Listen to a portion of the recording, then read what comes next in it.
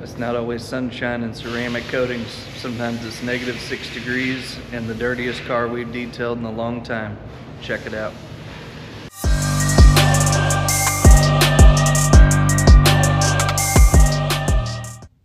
All right, so it was actually super cold today and we had a little bit of snow, so we actually had a couple of appointments cancel on us, so we was actually glad to have this dirty car come in today. This thing was a Mazda 2. I think the customer said he was letting somebody in the family use it. As you can tell, it was pretty dirty. Had a bunch of straw, dirt, mud, and just some heavy stains in it. So he was just wanting to get it cleaned up before he started driving it again. So first we're going to get a good look at this thing. There you can see all the stuff that was in the back seat and a little bit of that straw that was there. So we'll show you a couple more angles here before we get started on this level 2 interior.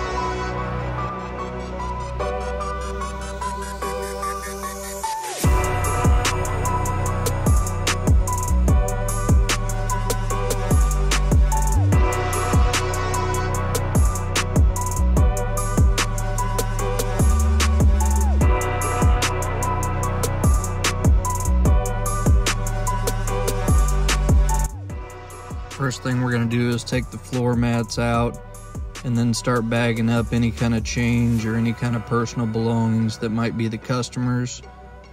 And then after that, we'll go ahead and do the first vacuum on this thing to get all the straw out and any, any kind of other trash that's in there.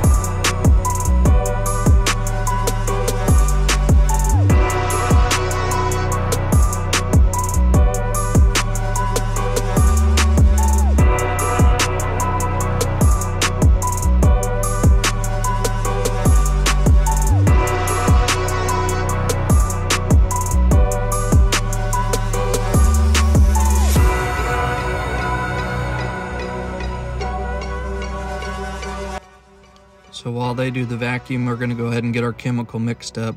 We're gonna use the P&S upholstery shampoo. This stuff's super concentrated and smells awesome whenever you use it on all the upholstery in there. So we're gonna mix this thing 16 to 1 with hot water. So there you see we're measuring it out. Then we'll go ahead and get our hot water in there and we'll start pre-treating all the fabric.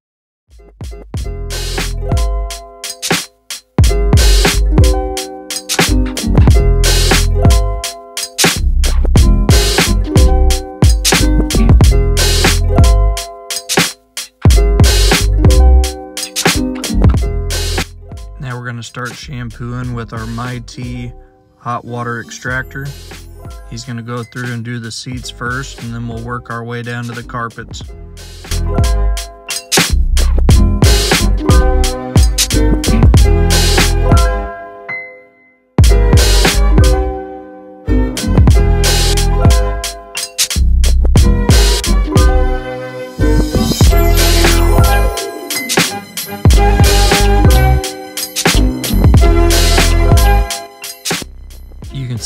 Few people on this thing, so while one of the guys is doing the shampooing, the other guys are going to be going around hitting all the plastics and the nooks and crannies, just trying to blow it out in the open, that whenever we either shampoo or vacuum, we'll be able to suck it up.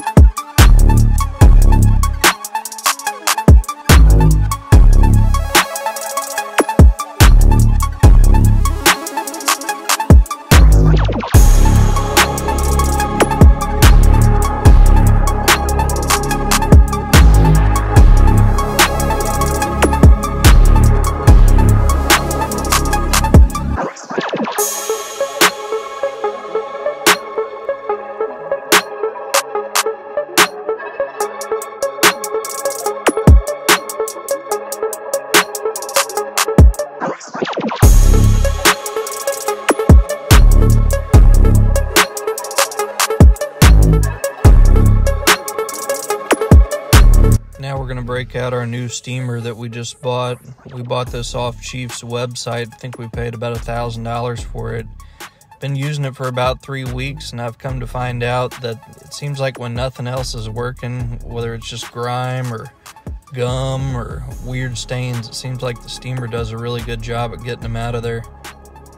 You'll see a little bit later in the video whenever we were trying to get some gum or caramel off the floor mats, the pressure washer wouldn't get them off there, but the steamer got them off there easily. So the guys are gonna go through and use the steamer and the extractor and get as much of this stuff out as they can. Then we'll move on to the next step.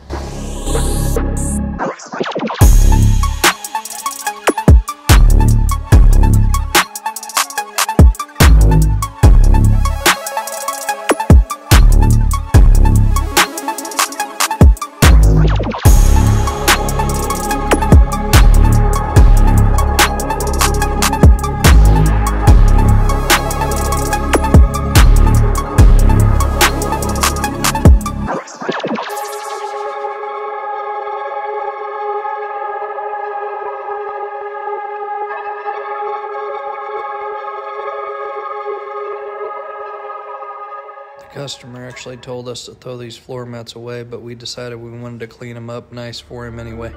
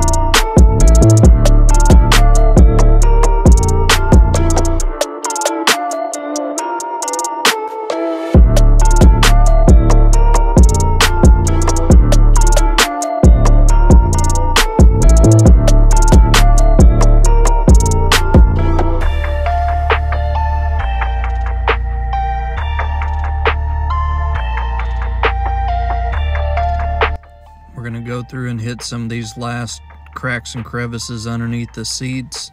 And then we're going to do one of the things that most detailers overlook, which is the pedals. So we're going to clean all the gunk and mud off those. And then we'll clean that black piece where the steering shaft goes down through the floor.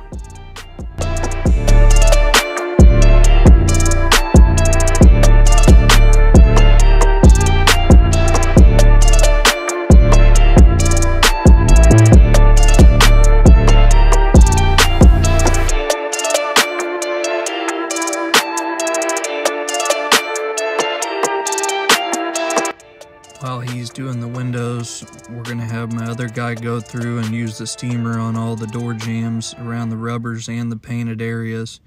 We're going to clean the door opening and underneath the bottom part of the door. After we get that done, this thing should be about finished up.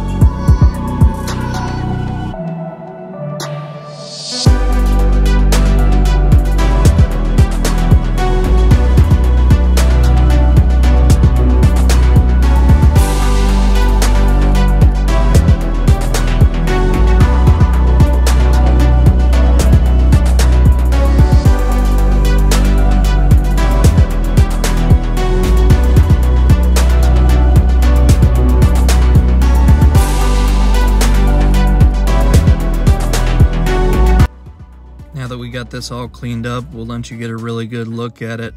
This thing took us about five hours, even though two guys were on it most of the time. We always like doing a fun challenge like this, even though there's going to be some parts that just don't come out 100% perfect, whether it be a stain or something that just won't go away. But we'll put the fans on this thing, we'll let it dry out, and then we'll call the customer as soon as it's all finished up and dry. Let me know what you think.